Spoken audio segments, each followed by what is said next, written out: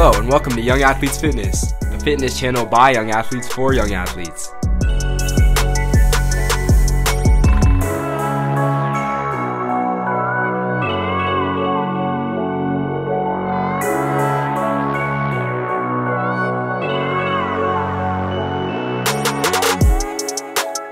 My name is Sterling Acosta. In this video, we will be introducing a kicking and punting tutorial presented by future NFL prospect Wilson Yee.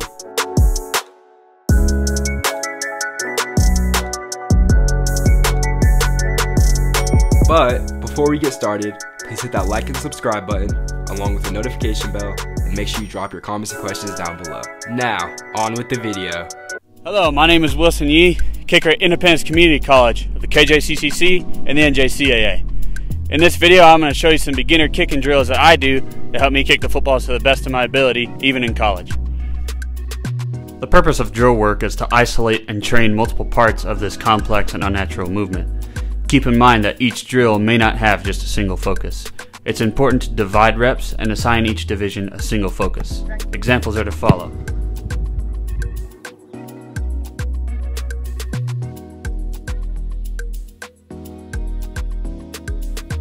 For the no step field goal drill, you're going to first want to put your foot on the proper part of the football. This is in what's called a wedged position with your foot rolled towards the football with your heel slightly off the ground. Second, because a soccer style football kick has a slightly arced path, we want to put ourselves on that arc.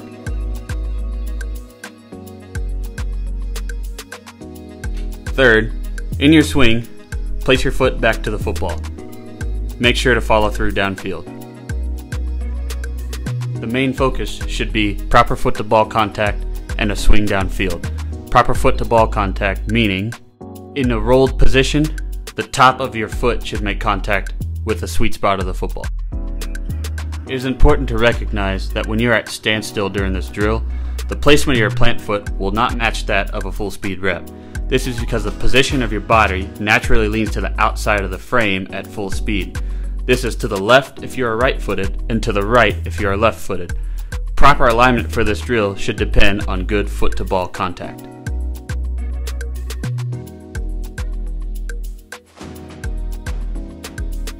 The next drill is our half triangle field goal drill. This drill will utilize our full field goal steps. Note the half round laid at my plant foot at a 45 degree angle. This serves as a boundary. It's important to finish towards our target instead of towards our boundary.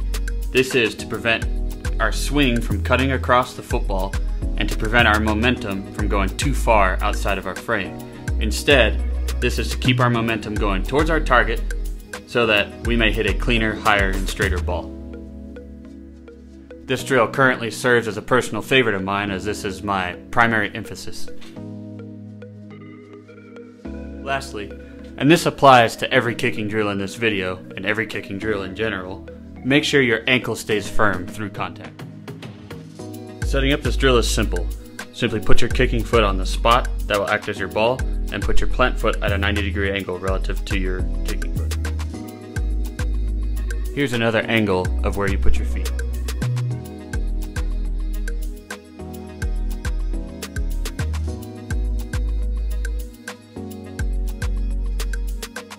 Kicking the football off, you must utilize a slightly separate set of skills. Notice how at the moment of the kick, our weight distribution and our finish is slightly different.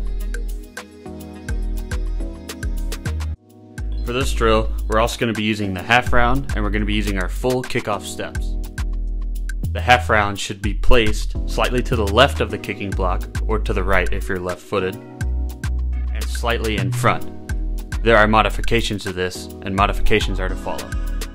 All modifications of this drill will be based around finishing up and over the half round bag. To train your upward explosion, place the half round closer to the kicking block.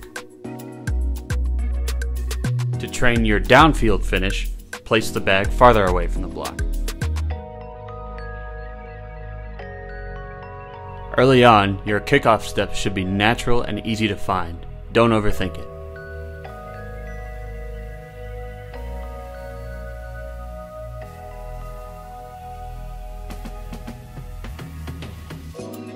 Emphasize on being smooth and having a gradual explosion to the football.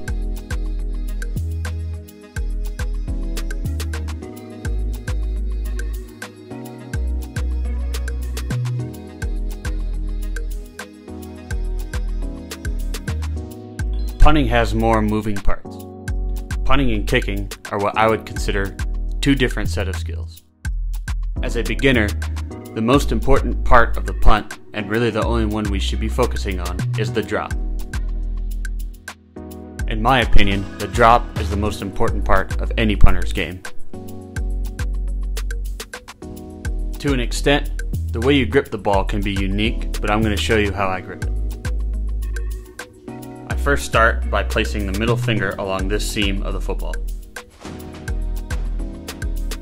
Second, I make sure that on the nose of the football, this pad of skin is placed there. Lastly, I make sure my wrist is locked but not tilted at an awkward angle. To train our drop, we're once again going to use our lines. The height at which you drop the ball can be played with, but for drilling purposes, I usually drop just higher than my hip. I flare my guide arm, my left arm, right arm if you're a left footer, at or just above my eye level. When I drop, I let go of the ball so that it drops evenly with no rotation.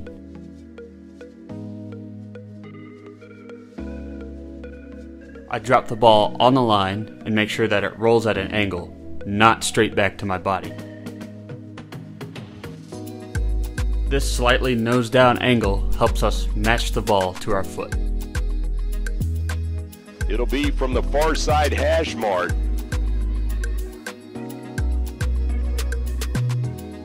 He gets the kick up, plenty of leg, he hammers it. It's good! Yeehaw, baby! Nice kick, Wilson. He puts it through the uprights from 40 yards out.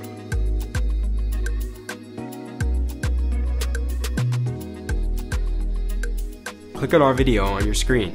It is the next step in helping you reach your athletic and fitness goals on this continuing journey. Again, please hit that like and subscribe button along with the notification bell and make sure you drop your comments and questions down below. Thanks for watching and I'll see you in the next one.